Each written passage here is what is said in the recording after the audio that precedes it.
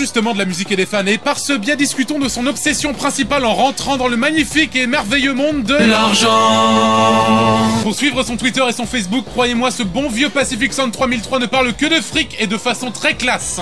Hashtag cynisme. Rappel, sur ma page, j'attends des fans clients. Les fans qui ont trouvé un ami peuvent simplement s'abstenir d'écrire sur cette page. Vous ne pouvez pas me payer? Laissez-moi tranquille Merci. Au rythme de 1 euro par jour, ça fait 30 euros par mois. Le Stade de France coûte environ 100 000 euros la soirée. Ce n'est pas avec les dons des fans à ce rythme que je louerai le Stade de France. C'est une rigolade, là Ah, parce que tu veux jouer au Stade de France. Le